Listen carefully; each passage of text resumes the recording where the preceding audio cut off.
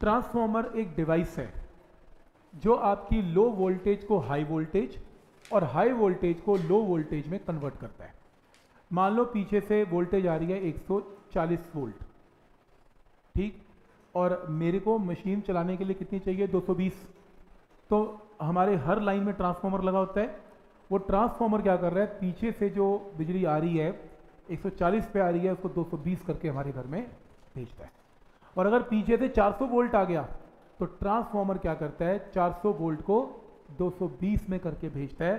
तो ट्रांसफॉर्मर एक डिवाइस है जो लो वोल्टेज को हाई वोल्टेज और हाई वोल्टेज को लो वोल्टेज में कन्वर्ट करता है। और कभी कभी तो हमें गारंटी नहीं होती, गर्मियों में सबके एसी चल पड़ते हैं। तो हमारे एसी बहुत फ्लक्चुएट करते हैं, गर्मियों के अंदर बहुत गर्मी में आपने नोट किया होगा। तो हम लोग भी स्टेपलाइजर लगवाते हैं। ये छोटा ट्रांसफॉर्मर है। ये क्या करता है? 160 वोल्ट भी अगर घर पे आ गई तो ये 220 कर देगा। और अगर 240 आ गई तो फिर से 200 ये छोटा ट्रांसफार्मर है। और जिनों के घरों में तो बिल्कुल ही लो वोल्टेज है, आप कहीं गाँव में जाओ तो बहुत ही अस्सी अस्सी वोल्ट पे चलते हैं तो कुछ लोग तो अपना ही एक छोटा ट्रांसफार्मर घर के बाहर लगा लेते हैं, खुद बन जाता है वो। कैसे बनता है बताता हूँ। तो वो छोटा ट्रांसफार्मर लगा लेते हैं, जो 80 वोल्ट को भी 220 वोल्ट में कन्वर्ट करता है, वहाँ भी एसी चलते हैं, जहाँ गवर्नमेंट का इंफ्रास्ट्रक्चर नहीं पहुँच पाया। तो लो से हाई हाई से लो वोल्टेज कर पाएगा। तो ट्रांसफार्मर एक डिवाइस है, जो कि use for changing AC voltage. अब एक स्टूडेंट आया, वो कहते हैं तो बढ़िया ही हो गया सर। मैंने कहा, कैसे? क्या देखो जी, मैं बीस रुपये का एक सेल लेके आया। मैंने कहा अच्छा। कहता, बारह वोल्ट लिखा है। अब एक काम करो, एक ट्रांसफार्मर बना के दिखाओ, इसको दो 220 वोल्ट कर दो। मैं कहा, वाह, ये सही है। पाँच वोल्ट की बैटरी, इन्वर्टर नहीं लगाऊँगा, कहता, घर में। बस ये बीस रुपये से काम चलाऊँगा और मैं 220 बना दूँगा। भाई, ये डीसी पे काम नहीं करता। ट्रांसफॉर्मर डीसी करंट को कुछ नहीं कर पाएगा, काम ही नहीं करता। ये ऑल्टरनेटिंग चेंजिंग करंट पे काम करता है, ये डीसी पे काम नहीं करता। ऑब्जेक्टिव आएगा आपके बोर्ड में कि ट्रांसफॉर्मर डीसी पे काम करता है कि एसी पे एसी पे ऑल्टरनेटिंग करंट पे काम करता है। जो चेंज होते हैं। क्लियर है यहाँ तक? दूसरा, transformer which increases AC voltage जो अप करता है वोल्टेज को, वो स्टेप अप है और जो डाउन करता है वो स्टेप डाउन ट्रांसफॉर्मर है।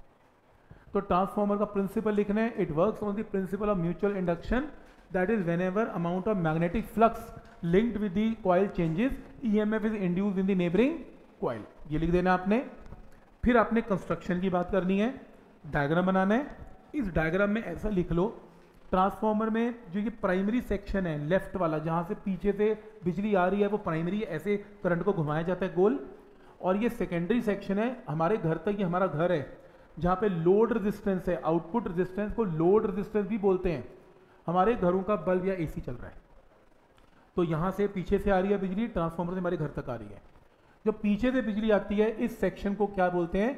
प्राइमरी तो लिखो इसके ऊपर डायग्राम के ऊपर प्राइमरी और ये क्या है? सेकेंडरी लिखो डायग्राम में प्राइमरी सेकेंडरी फिर इसमें ऐसा लिखो नंबर ऑफ़ टर्न्स प्राइमरी में एनपी है और सेकेंडरी में एनएस है। तो यहाँ पे N N P N S लिखना है एन वन एन टू नहीं लिखना। एन पी एन एस लिखना है और वोल्टेज में लिखना है E P and E S E P and E S that is voltage in primary and secondary तो ये प्लीज़ डायग्राम पे मेंशन कर लें। ठीक है, यहाँ तक? प्राइमरी प्राइमरी का मतलब लेफ़्ट सेक्शन है। इसमें number of turns in primary number of turn का मतलब है, ऐसे दो टर्न है, चार टर्न है, छह टर्न है, बीस टर्न है। गोल घुमाते हैं टर्न्स को। तो यहाँ नंबर ऑफ़ टर्न ज़्यादा है, यहाँ कम है, ऊपर नीचे भी हो सकते हैं। तो नंबर ऑफ़ टर्न्स है वोल्टेज है। वोल्टेज का मतलब इंड्यूस ईएमएफ है प्राइमरी और सेकेंडरी में। लिख लिया यहाँ तक? अब एक काम करना है आपने। ये जो इसके अंदर mathematical portion theory and working है, इसको प्लीज़ कट कर दो। काटो। काट दो। ये गलत टाइप्ड है। जो मैं लिख रहा हूँ, वही लिखना पेपर में तो नोट करें। तो नोट करें। ठीक है, इसी जगह पे नोट कर लें। ठीक तो इसकी वर्किंग लिखें। वर्किंग के अंदर मैथमेटिकल पोर्शन लिखने जा रहे हैं। ये देखो क्या। तो पहले आप ये लिखें। NP NP and N S का मतलब number of turns in primary and secondary ठीक, लिखते जाएँ please number of turns in primary and secondary ठीक ईपी एंड ईएस का मतलब नम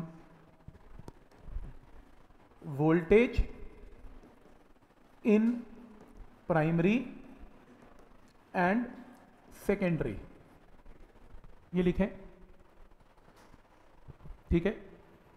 फिर ये लिखें E primary is minus number of turn in primary into D five by D T equation number one फिर लिखें E S is minus N S D five by D T equation number two ये लिखें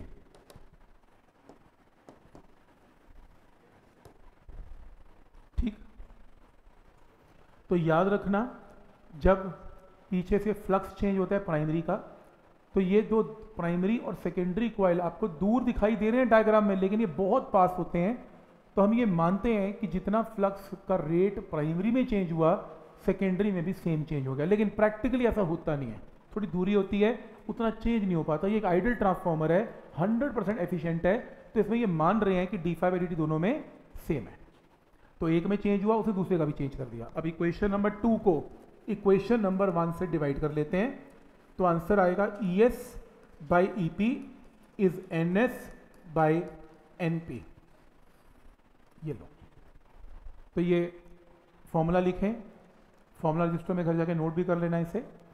तो ये transformer का formula है कि number of turn secondary और प्राइमरी का ऐसे रिलेटेड है। अब दो मिनट के लिए एग्ज़ाम्पल लिख रहा हूँ, ये लिखने की ज़रूरत नहीं है आपको। एग्ज़ाम्पल जैसे प्राइमरी का मतलब पीछे से बिजली जो आ रही है वो दो वोल्ट पे आ रही है।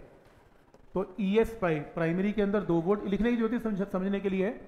नंबर ऑफ़ टर्न प्राइमरी में दस हैं और मैंने नंबर ऑफ़ टर्न सेकेंडरी में घुमा के दस हज़ार कर दिए। तार घुमाना मेरे हाथ में है। तो आप ये देखें सिर्फ़ ये कट गया। तो सेकेंडरी की वोल्टेज पता कितनी हो गई? दो हज़ार वोल्ट दो वोल्ट दो हज़ार वोल्ट में कन्वर्ट कर दिया सिर्फ़ नंबर ऑफ़ टर्न्स को चेंज करके। ये है ट्रांसफॉर्मर सही है? सिर्फ़ नंबर ऑफ़ टर्न्स को ऊपर नीचे करके आप सेकेंडरी की वोल्टेज को कम या ज़्यादा कर सकते हैं। कोई डाउट इसमें? ठीक समझाने के लिए लिखा यहाँ पे। तो इसमें इसमें काम करेंगे। इस रेशो को लिखते हैं के इसे लिखते हैं के के का मतलब होता है ट्रांसफॉर्मेशन रेशियो ट्रांसफॉर्मेशन रेशियो तो if K is greater than one तो therefore N S is greater than N P therefore E S greater than E P इस ट्रांसफॉर्मर को बोलते हैं step up transformer step up transformer ठीक है? तो transformation ratio अगर ग्रेटर देन वन है तो सेकेंडरी की वोल्टेज प्राइमरी से बड़ी हो जाएगी। तो ये स्टेप अप ट्रांसफॉर्मर है, ये लो वोल्टेज को हाई वोल्टेज में कन्वर्ट करता है। इफ़ के की वैल्यू लेस देन वन तो नंबर ऑफ़ टर्न सेकेंडरी में लेस देन प्राइमरी तो इसका मतलब E S less than E P इसका मतलब ये स्टेप डाउन ट्रांसफॉर्मर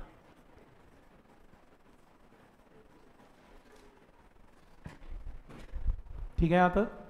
तो step up step down transformer कोई डाउट इसमें?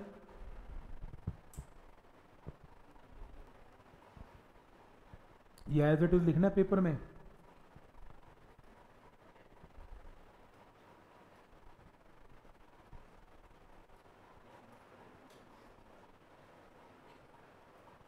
ठीक है यहाँ तक? इसके बाद आपने ये लिखना है स्टेप अप स्टेप डाउन के बाद। ये आगे कर लू?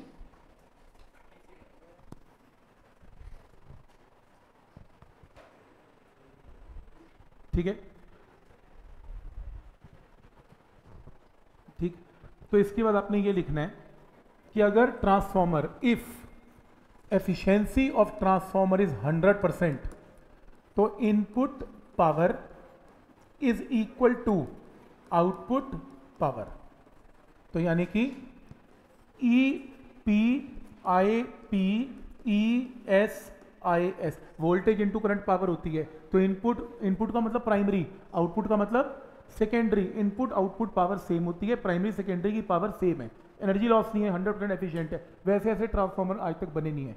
किताबों में तो है। तो इसके अंदर E S by E P is I P by I S ये फॉर्मूला आएगा। लेकिन ये तभी लगाना है जब ट्रांसफॉर्मर 100 परसेंट एफिशियंट है।